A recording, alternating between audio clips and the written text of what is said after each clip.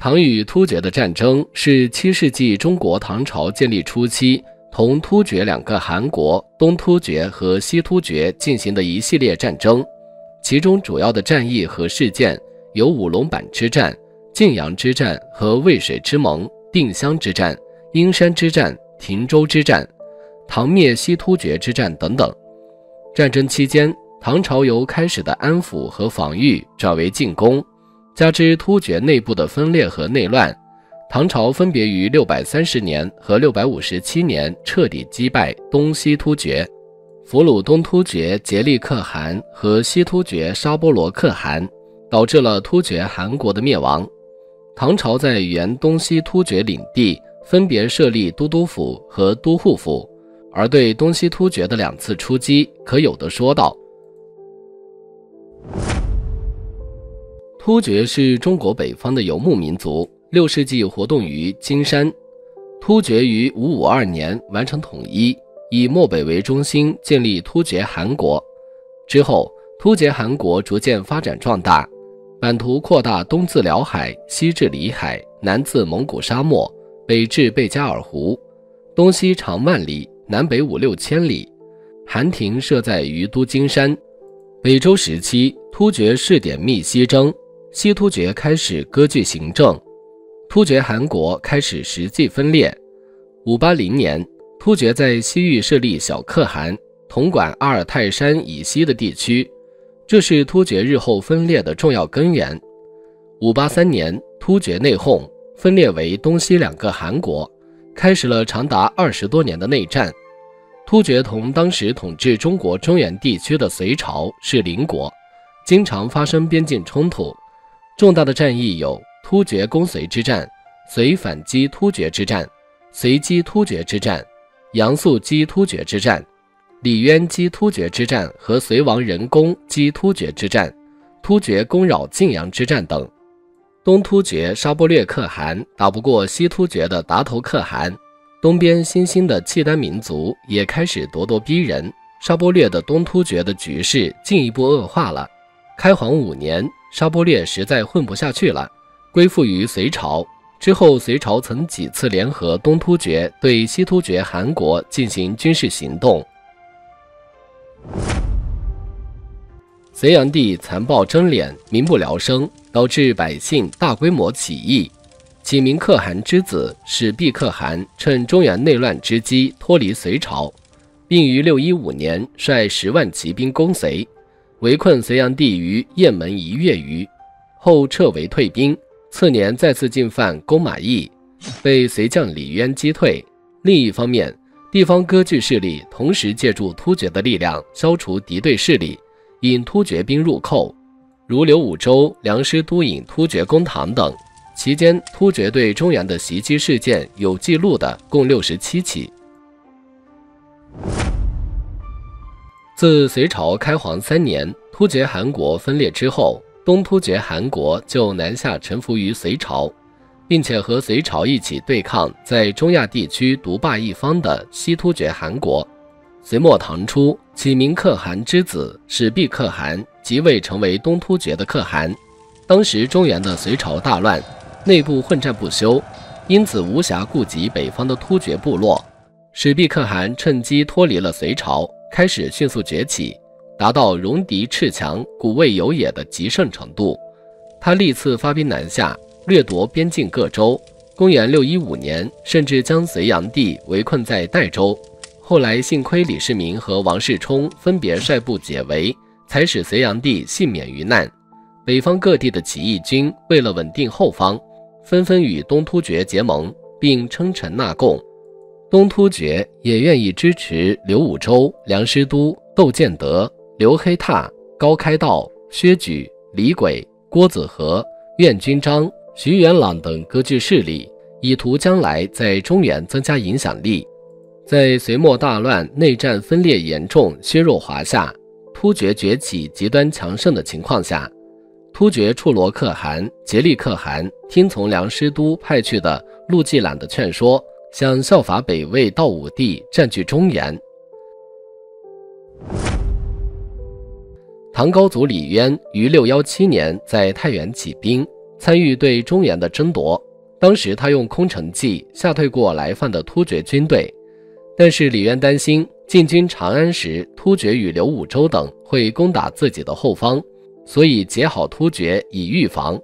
李渊太原起兵时，还是隋朝的臣，遣刘文静至突厥见始毕可汗请兵。李渊没有奉突厥可汗为至尊。突厥始毕可汗死时，唐朝对他用的礼节。还不如唐朝对自己的部分臣属之死用的礼节。武德八年之前，李渊与突厥用平等的敌国礼，不是称臣。从武德八年开始，李渊开始对突厥用诏敕，以君对臣的态度对突厥，地位高于突厥，更不是称臣于突厥了。六二零年，突厥处罗可汗开始出兵与唐朝交战。处罗可汗病死后，杰利可汗即位。屡次协同铁勒、薛延陀等诸部南下袭击北方边城。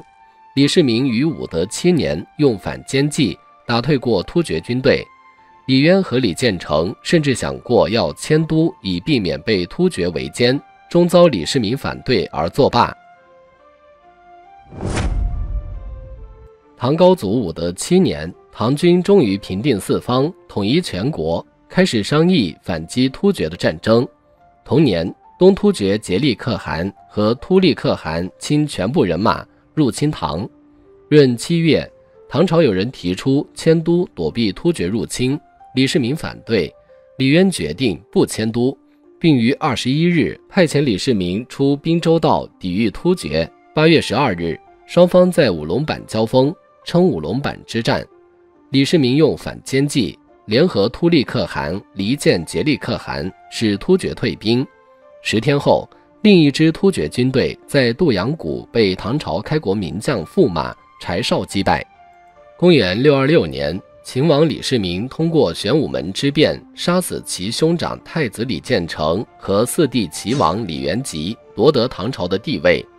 东突厥颉利可汗趁着李世民尚未将冯立、谢淑芳、薛万彻。罗毅等李建成和李元吉余部招降或铲除干净，命拔野吉部和铜锣部的骑兵围攻乌城，牵制住陈知节、徐世绩、柴绍和屈突通的唐军主力。他自己则协同其弟突利可汗以及铁勒首领契必合力，率二十万大军南下，兵锋直指长安城，占领了离长安不远的武功城。颉利可汗派遣帐下大将军。执师司隶进长安城威胁唐朝君臣，并同时率大军进逼到长安城外的渭河北岸。李世民扣留了执师司隶，然后冒险率长孙无忌、高士廉、房玄龄、侯君集、段志玄、独孤雁云等六骑到长安城外的渭水便桥南岸，隔河责问东突厥背信弃义。同时，唐朝大将尉迟敬德率领一支军队于晋阳之战中击败突厥的左翼军，突厥名将阿史那乌莫绰几乎被俘，颉利可汗等自知理亏，又因为侧翼遭袭，大将被扣押，因此与李世民在渭水便桥上斩白马为盟，之后退兵。突厥颉利可汗献马三千匹，羊万口，李世民也放回了执师司隶。李世民将此事视为警告，因此从他即位开始就着手准备灭东突厥。渭水会盟后，唐太宗为彻底解除突厥威胁，采取一系列政治经济措施以增强国力，在军事上积极备战。他一反前朝不许臣下带武器上殿的规定，每天引数百士卒在显德殿习武射箭。很快培养出一支能征善战的精锐部队。同时，唐于贞观元年争取割据恒安镇的军阀刘武周的余部愿军章归附。贞观二年，柴绍和薛万钧率军击灭割据朔方的军阀梁师都，占据了便于反击东突厥的军事要地。而突厥内部由于连年征战和霜冻干旱等天灾，使得民疲畜兽。很多羊马被冻死、饿死，薛延陀、回纥、拔野谷、铜锣诸部亦趁机群起反攻，共推薛延陀首领宜南为珍珠可汗，并接受唐王朝册封。东突厥次汗突利可汗因长期受颉利可汗压制排挤，也暗中与唐联络，表示愿意归附。唐反击突厥的条件已经成熟。贞观三年十一月，东突厥将军雅尔金和阿史那杜尔率军进扰河西，肃州守将张世贵、甘州守将张宝相互统兵，结成犄角之势。坚壁清野，利用城池阻挡突厥骑兵，最终使突厥人无功而返。这为李世民反击突厥找到了出兵的借口。贞观四年，代州都督张公瑾上书唐太宗李世民，列举了六条出兵突厥的理由。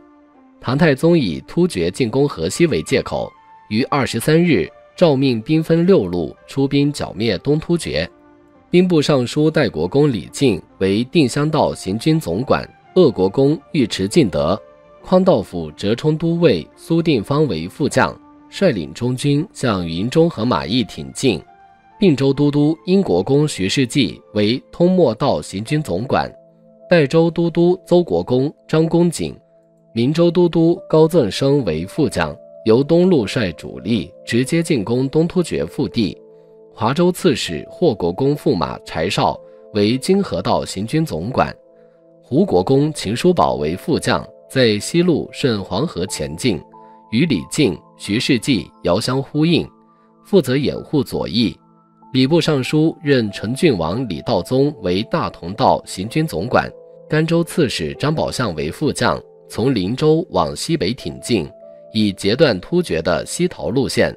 检校幽州都督。魏孝杰为恒安道行军总管，卢国公程之节为副总管，率军进驻燕云地区，防止突厥军队东逃。林州大都督驸马薛万彻为畅武道行军总管，左骁卫大将军樊国公段志玄为副总管，借道东北出击突厥后方，并监视和牵制突利可汗。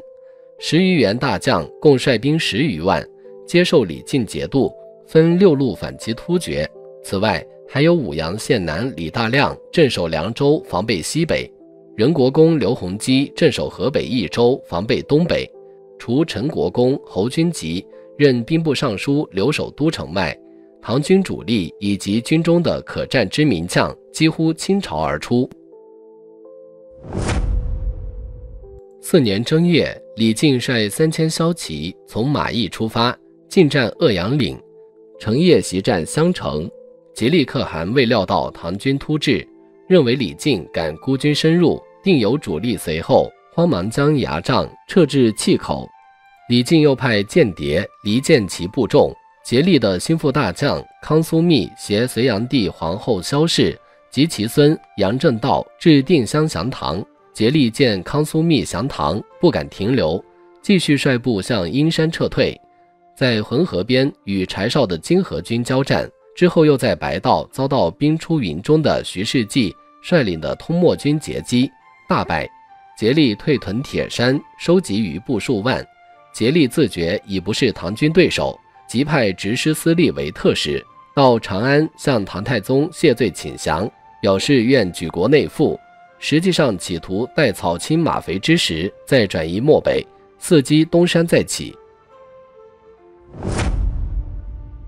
唐太宗派鸿胪卿唐俭、将军安修仁等去突厥抚慰，令李靖率兵接应。二月，李靖引兵至白道，与徐世绩会合，相与定谋，认为竭力虽败，兵力尚多，若任其逃往漠北，依附于薛延陀等部，则很难追歼。今唐俭在突厥，竭力谢而不备，如选旌旗袭之，可不战而擒之。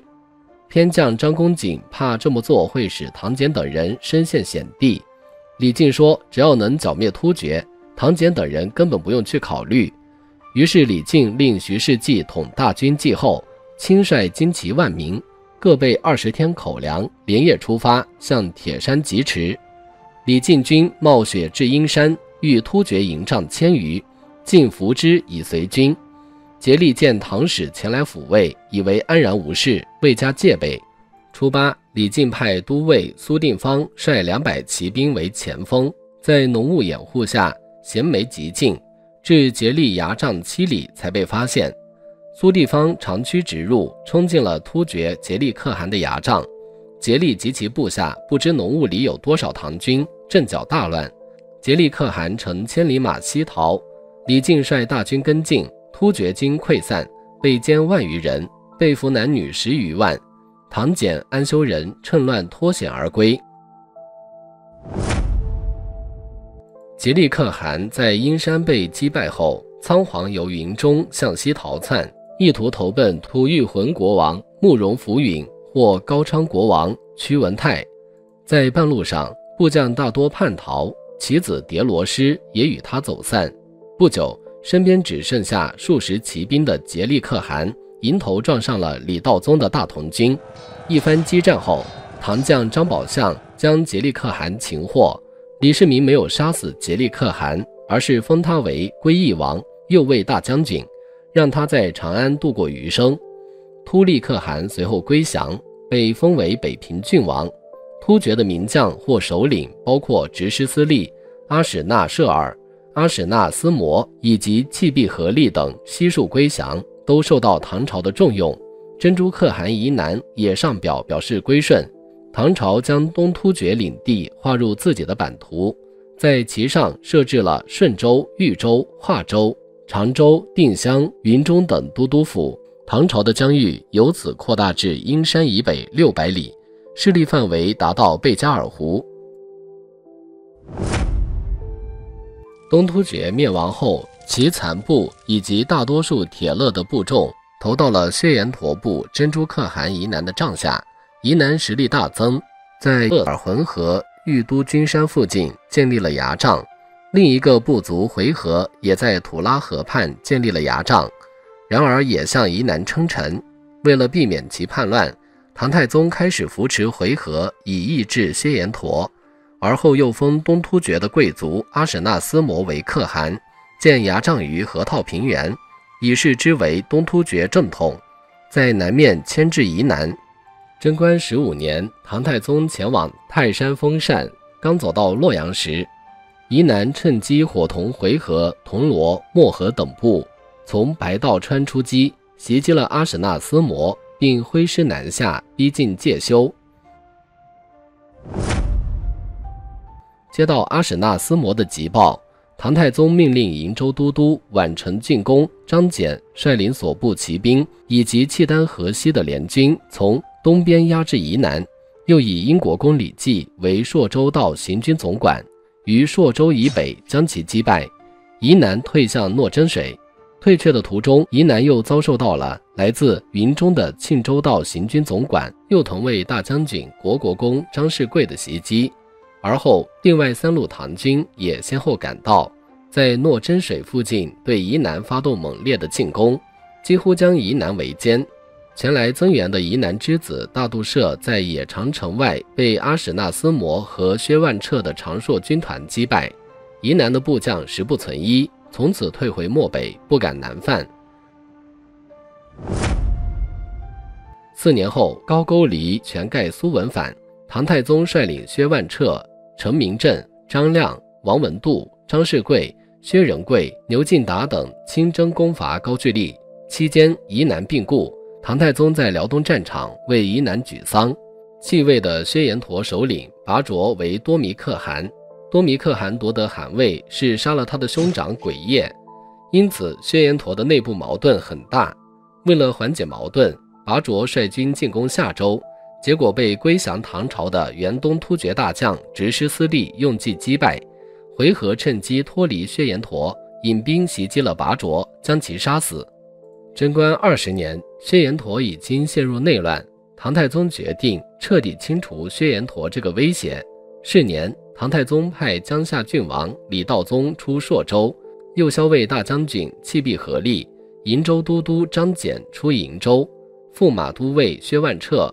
左卫大将军阿史那设尔出嵊州，嵊州都督宋君明、左武侯将军薛孤无人出灵州，驸马执师司隶率骑兵为机动部队，诸位将军各率所部突入薛延陀，很快将其击溃。次年，执师司隶和夏州都督乔师旺再次合兵出击，大败薛延陀。唐朝立多摩之为新的薛延陀部首领，然而多摩之无法服众，疏勒等部不服。唐太宗派英国公李绩和大将军萧摩柯出征塞外，在塞北荒谷击败疏勒等部，迎接多摩之回长安。唐太宗封多摩之为右卫大将军，在薛延陀地设置燕然都护府。至此，元东突厥所有的地区皆臣服于唐朝。而到这只是一半，唐朝与西突厥的爱恨情仇才刚刚开始。